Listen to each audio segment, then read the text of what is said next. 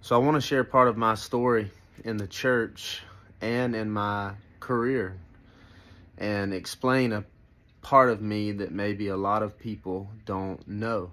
The truth is, the people that know me the best, and I mean the best, know without a doubt that there are people that like me and there are people that can't stand me.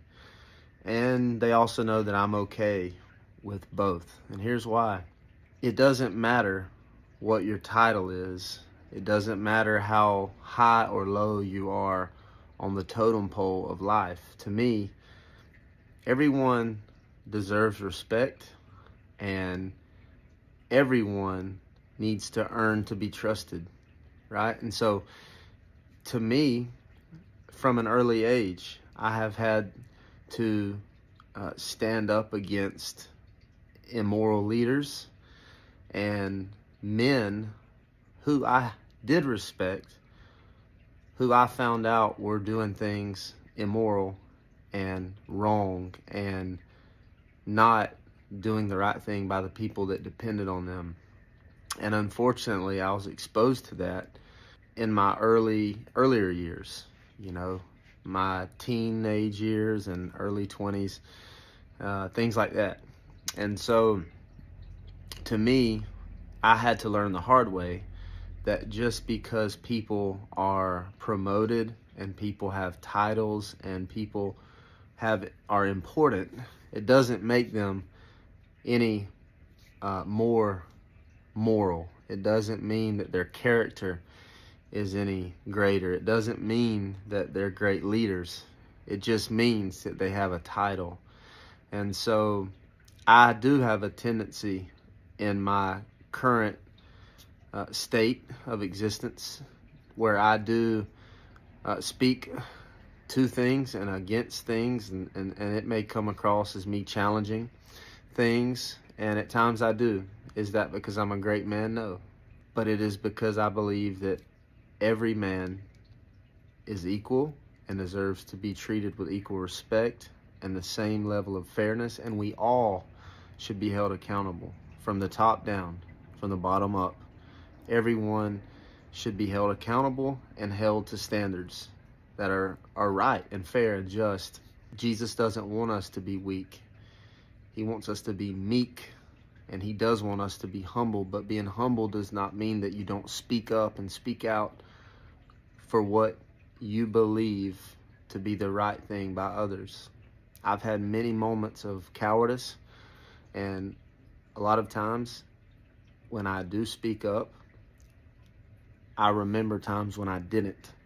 And I hate those times when I look back on my youth where I watch people get mistreated, even in school. I can remember right now a, a time in high school where I allowed one of my friends to mistreat another one of my friends, and I didn't stand up for that person, and I should have. And it still eats at me. That's been 14 years ago or more. so, um, so that's a part of me that, that maybe you don't know. I'm not always considered um, a nice guy, and some people think I'm the nicest guy in town, and other people think I'm an absolute jerk.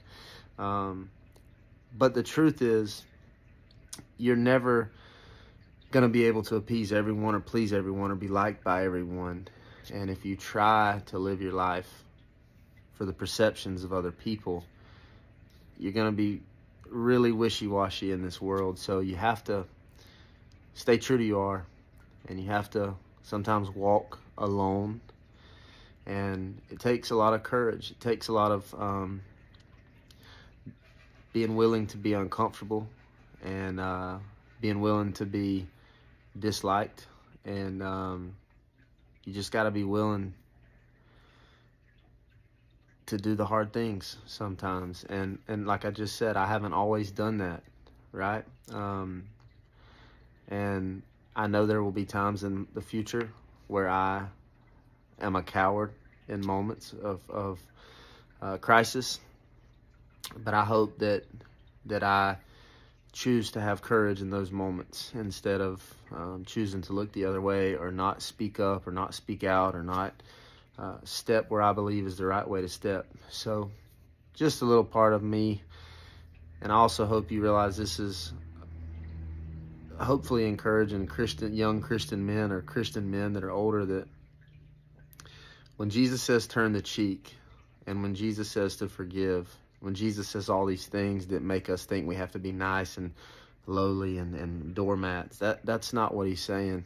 And I think what God wants in this world is for men to have integrity and character and to speak up for those who can't speak up for themselves and to stand on uh, what is right and, and not necessarily throw punches but definitely not back down at times and and to speak up at times. So yeah man it's okay if if not everyone likes you.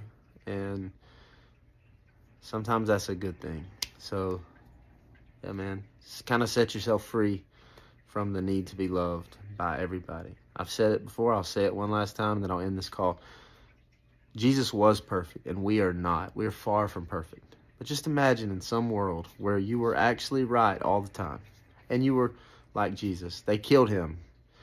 So even if you are perfect, you can't please everyone. So never forget that. Um, also, never think you are perfect. You're not always right. I tell my wife that, and she tells me that. but, um, all right, peace.